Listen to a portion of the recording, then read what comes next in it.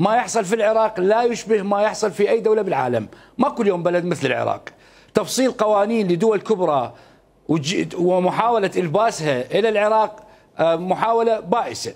اليوم أكو سياسيين يطلعون يتحدثون بكل حرية. يتحدثون عن تقاسم المغانم يتحدثون عن خصومهم يشتمون بعضهم يحجون عن السرقات. أني كمواطن لازم أسمعه لازم أمثل دور المستمع والمقتنع بما يقوله السياسي. مقابل ذلك يحرم على المواطن أو الإعلامي أو الصحفي أن يقول وجهة نظره أن يحلل ما يسمع. اليوم العراق به انقسام سياسي حاد. أكو ناس تفرح لما تنقصف مقرات القوات الأمريكية.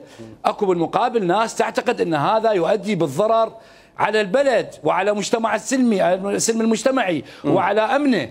بالتالي هاي وجهات النظر اللي يمثلوها بعض من ذكرت من زملائنا ومن أصدقائنا. يجب أن يسمع الجميع. يجب أن يعرف الناس ما الذي يحصل بالضبط يستمعون إلى وجهات نظر مختلفة. أنت إذا تمنع هذا بالقنوات الناس كلها عندها موبايل.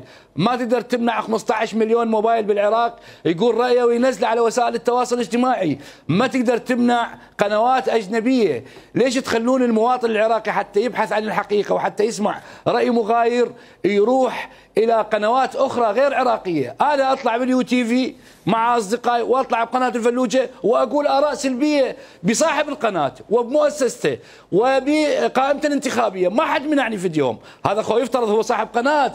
يفترض عدنان يزعل أحمد ملا طلال يزعل. يقول أخوي أنت جايب برنامجي وجايب قناتي وإحنا مستضيفيك وتحكي على قائمة عزم مثلا.